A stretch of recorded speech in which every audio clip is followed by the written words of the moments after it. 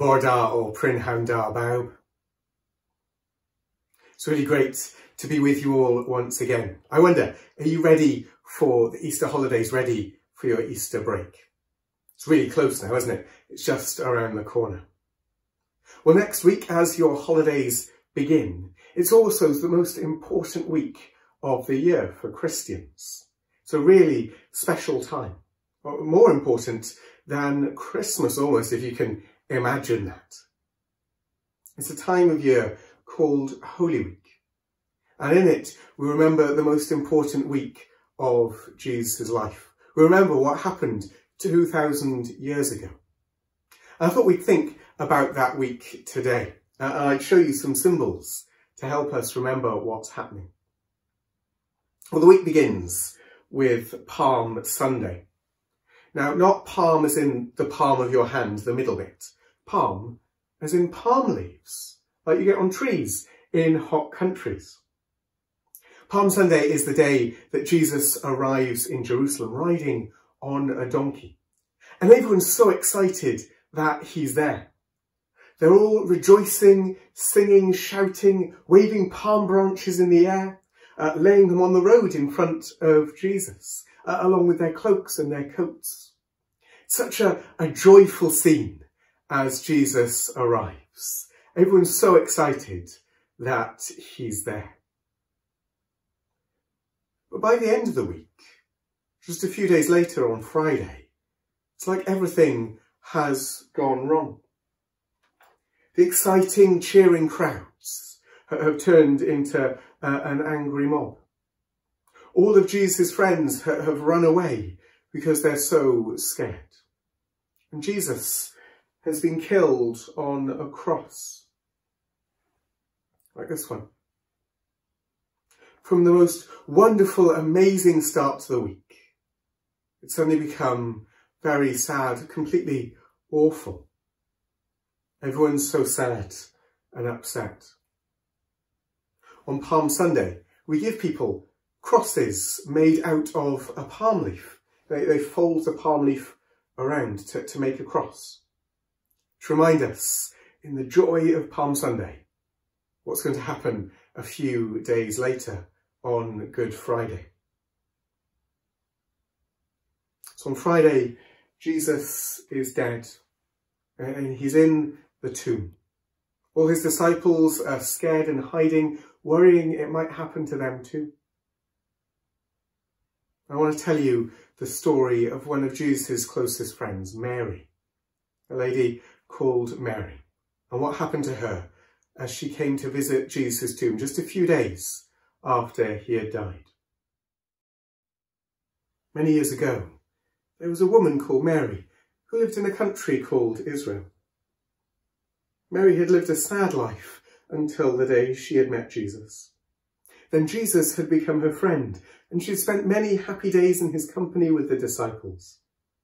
However, just a few days ago, Jesus had died and Mary was very sad. She didn't understand how it could have happened. Jesus was such a good man. He had cared for children, he had shown love to all sorts of people. He had healed the sick, and he had taught everyone so much about God. How could anyone have wanted to hurt him? But they had. Just a few days ago, he had been killed. His body laid in a tomb and a big heavy stone rolled in front of the entrance. It had been a terrible day, and Mary hadn't slept a wink for days. She had such sadness in her heart. She had to go to the tomb, to be near Jesus, even though he was dead. Early in the morning, when there was still no one stirring, she left her house and made her way to the graveyard. What a shock awaited her. The big stone had been rolled away. She peeked inside the tomb and saw that there was no one there. Mary sat down on the ground, exhausted with sadness.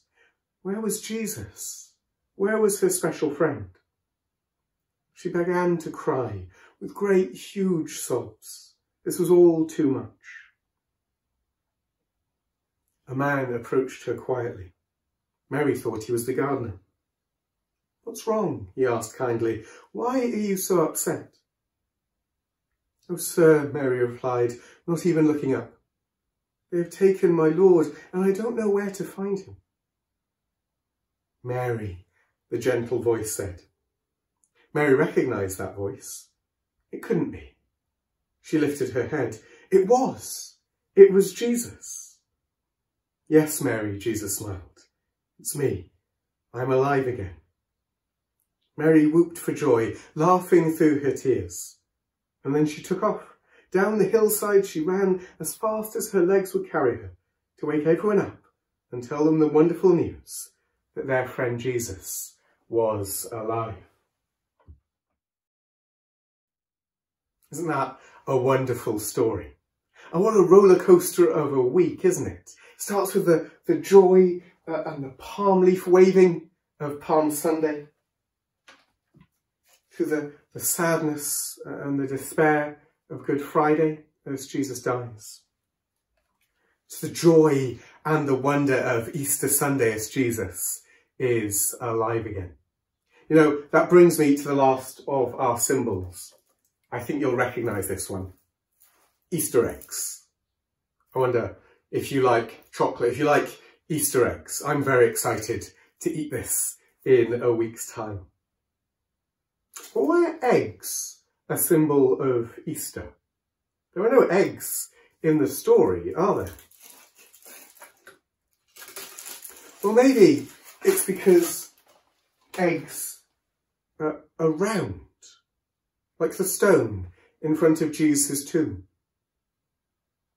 Maybe it's because they're empty on the inside, just like Jesus' tomb was that first Easter Sunday. Maybe it's because so many animals are born from eggs, new life coming from eggs, a reminder of Jesus' new life, him coming back to life again, and the new life Christians share with him. This coming week, I hope you'll remember about the joy of Palm Sunday. Remember Good Friday and the cross, where Jesus dies for us and then enjoy tucking into your Easter eggs. Let's remember that Jesus is alive again. Shall we pray?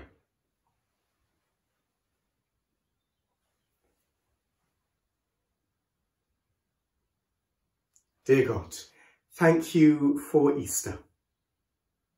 Thank you that Jesus is alive again and we can share his new life too.